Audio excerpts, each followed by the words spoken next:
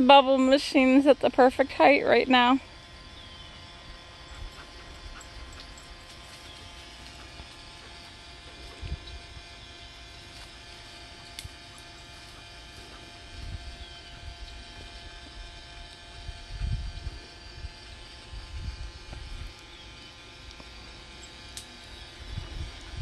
Hi, puppers.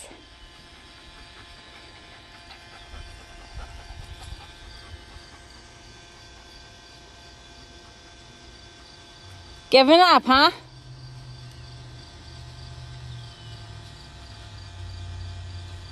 No, just trying to figure out another way to sneak attack the bubble machine.